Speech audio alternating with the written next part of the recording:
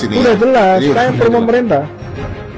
Salah benar saya bela pemerintah. Udah jelas ya. Sudah jelas Dikatakan. dikatakan Rasulullah, jika pemerintah kalian datang dengan membawa cambuk, kalian dicambuk, kalian tetap harus taat kepada pemerintah.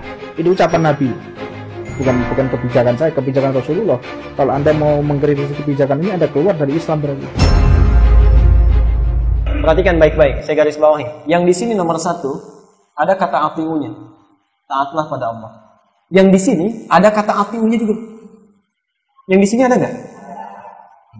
Perhatikan cara menafsirkannya. Perhatikan. Taat artinya ketaatan mutlak. Ketaatan mutlak. Jadi jangan tanya. Kalau Allah sudah perintahkan, jangan tanya lagi. Kalau Rasul sudah mintakan, jangan protes lagi. Lakukan saja. Apa yang kita pandang buruk, boleh jadi ada kebaikan di situ. Jelas sampai sini?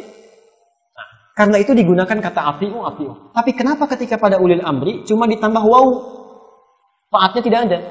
Ini artinya ketaatan dengan syarat bila sekali lagi bila ulil amri ini menetapkan satu keputusan yang keputusan itu sesuai dengan ketentuan Al-Quran dan Sunnah Allah dan Rasulnya.